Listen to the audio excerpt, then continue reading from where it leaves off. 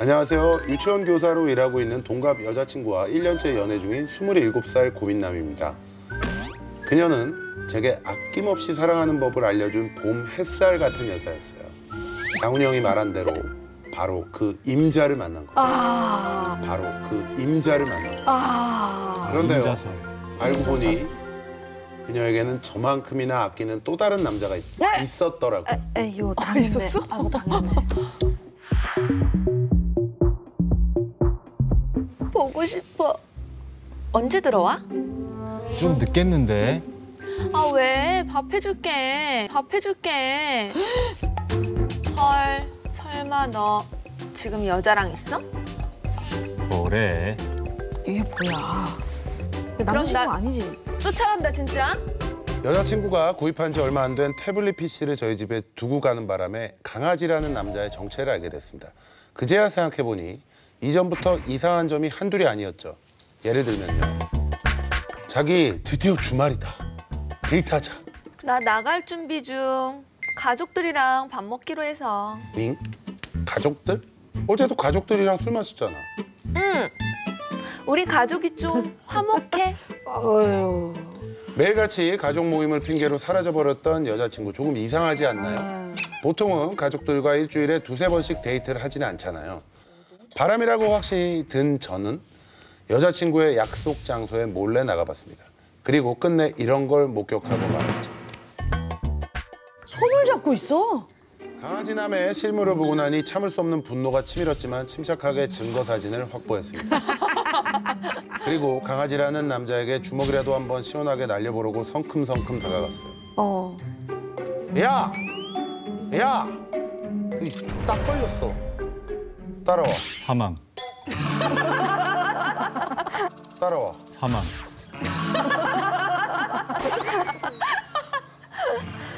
아씨 뭐야? 아, 이거 안 나? 들켰어. 이 와중에 이 자식 편을 드시겠다? 아하. 아 누나 나, 남자친구. 저기요. 그 오해하신 것 같은데 저 친동생이거든요. 음. 친동생이라고? 근데 막 지금 막 팔짱 끼고 손 잡았잖아. 요. 요. 요. 어구, 우리 강아지 괜찮아? 아, 많이 아파? 아 첫인상을 아주 예? 강렬하게 남기시네. 어. 아이 짱나. 진짜. 동생인가 봐. 아, 진짜, 진짜. 감히 내 동생을 밀쳐? 내 눈앞에서 당장 사라져! 누가 봐도 다정한 연인의 모습이었기에 설마 진짜 친동생일 거라고는 상상도 못했습니다. 어쨌든 남동생의 어깨를 야무지게 밀쳐버렸으니 그날 밤 여자친구에게 최선을 다해 빌어야 했죠. 어이구, 일곱 살 차이 나는 남동생 있다고 했잖아. 아니 통 내용이 좀 그렇잖아 남매 사이에. 그게 뭐가 이상해? 걘 나한테 동생이자 아들 같은 존재야. 동생을 그렇게 아끼는지 몰랐네. 부모님 맞벌이 때문에 걘 내가 키운 거나 다름없어. 좀 유별난 편인 건 인정하는데 진짜 내 목숨보다 소중한 애야. 그랬구나. 그럼 나도 자기 동생이랑 친하게 지내고 엄청 잘해줄게. 내 동생한테 실수한 건 앞으로 두고두고 잘해주면서 갚아. 이렇게 큰 파도를 잘 넘겼다고 생각했는데 이후 쓰나미급 해일들이 저를 덮쳐오기 시작했어요. 뭐 왜? 동생이 세시간째 연락이 안 돼. 그래? 바쁜 일 있겠지. 집에 있는데 연락이 안 될 일이 뭐가 있어. 자기가 우리 동생 집에 있나 확인 좀 해줘. 너무 걱정돼서 일이 손에 안 잡혀. 음, 알겠어. 아, 죄 지은 게 있어서 할 말이 없어. 한한 시간 시간 후. 후 여기 여기 맞지? 우리 집 벨소리 작으니까 두드려봐. 안 나오면 비번 알려줄게. 3분 후 집에 있네. 과제하다 밤새서 자고 있었대. 아우, 다 극성, 큰- 극성. 다큰 스무 살 동생이 뭐가 그리 걱정이 될까요? 남동생도 이런 상황에 익숙한지 제가 찾아갔을 때 별로 놀라지도 않는 눈치였습니다. 그리고요. 어 누나. 아, 자느라고 못 받았지. 밥? 밥 아- 아직 안 먹었어. 어, 알겠어. 저기요, 저기요. 저기요, 형 씨. 누나가 잠깐 바꾸래요. 여보세요? 자기야, 애 아직 밥도 안 먹었대. 자기가 된장찌개 좀 끓여봐봐. 자기 완전 잘 끓이잖아. 그리고 간 김에 과제도 좀 도와줄 수 있지? 너무너무 고마워, 자기야. 심각하네. 어, 해초리 끊어와, 너. 동생과 관련된 일이라면 무리한 요구도 서슴치 않더라고요. 그날 이후로도 남동생의 일을 제 일처럼 여겨주길 바라는 여자친구의 부탁은 계속됐습니다. 자기야, 동생 타이어 교체하러 가야 하는데. 얘가 아직 어려서 덤터기 쓸 것 같으니까. 어, 덤터기 쓸 것 같으니까. 자기가 같이 가주라. 에이, 그런 건 블로그 좀 찾아보고 공부하면 다 알 수 있어. 그럼 자기가 공부해서 도와주면 되겠네. 창과 방패. 가족들 사람인데 좀 챙겨줘요. 가족들 사람? 자기야, 다 큰 동생 유치원생 돌보듯 하는 거 그거 좀 오바 아니야? 타이어 교체 정도는 알아서 할 줄도 알아야지. 자기 말이 좀 심하네. 됐어. 내가 같이 갈 거야. 됐어. 오케이, 가라. 너 내 동생이잖아. 아, 잘 됐다. 내가 동생이지. 상황이 이쯤 되니 공동 육아를 강요받는 기분이었어요. 솔직히 전 제 몸 하나 건사하기 힘든 사람인데 여자친구의 남동생까지 챙겨줘야 한다니 너무 지치더라고요. 지치지 자, 당연히.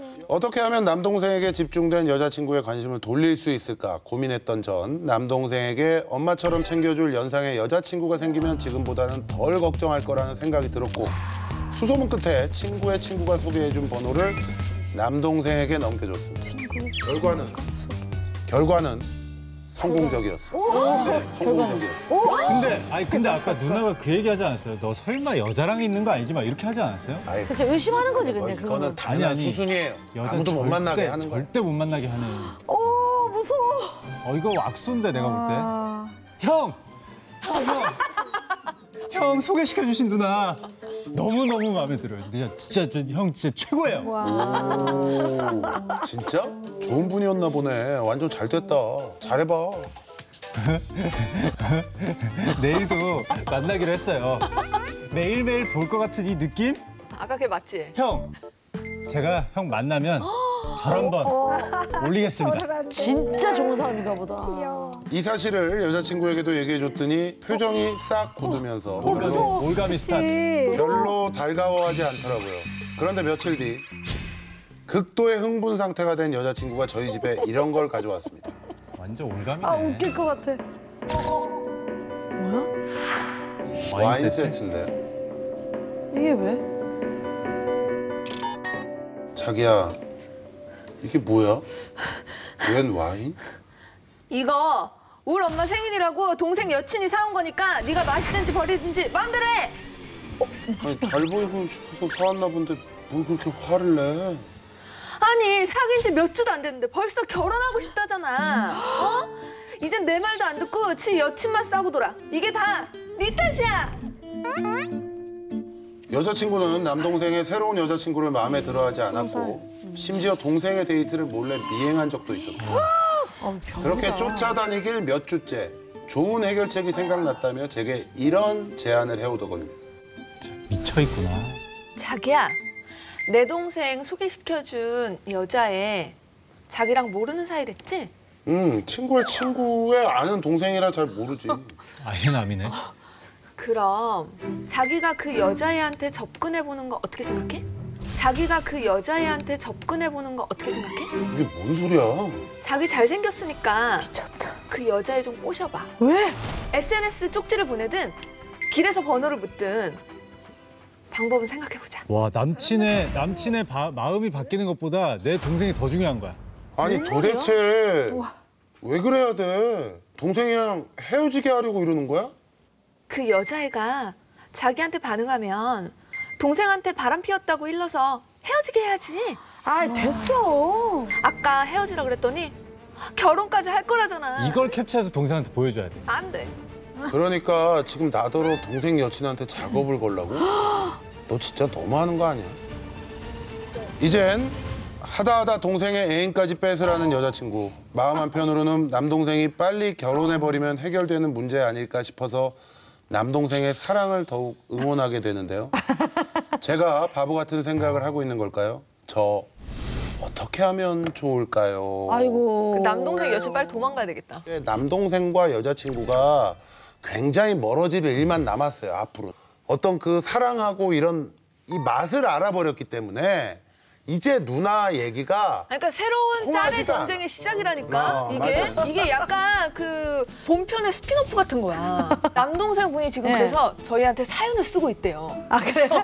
안녕하세요. 결혼하자. 20세 고민남입니다. 저희 누나가 한 명 있는데 말이죠. 막 이러면서 그럴 수 사연을 쓰고 있지. 있대요. 맞아. 지금 고민남님은 우리 여친분을 엄청 사랑하시지만 제가 볼 때는 여친분은 고민남을 그렇게 딱히 많이 사랑하고 있지 않는 것 같아요. 왜냐면 이게 아무리 연기를 하는 거라도 다른 여자를 한번 꼬셔봐라라고 시키는 거는 정말 이거 진짜 저러다가 무슨 일 나면 어떡하지라는 감정 때문에 절대 그런 걸 시킬 수가 없어요. 근데 본인의 동생을 생각하는 것보다 훨씬 못 미치는 그 정도의 마음으로 우리 남자친구를 생각하고 있는 것 같고 우리 동생분, 남동생분의 새로운 여자친구분 어, 지금 혹시라도 연참 보시다가 대충 이렇게 관계들을 보면서 어, 어, 난가? 이거 이거 난가 싶으면 바로 떠나세요 그냥 그냥 얼른 도망가세요 인생 이거 인생 나락가요 아 그 집에 이거 들어갔다가 결혼했다가는 이 이거 이- 난가? 이 누나 만나면은 진짜 인생 나락가니까 본인이랑 겹쳐지는 느낌 확 온다 그럼 바로 손 떼고 도망가세요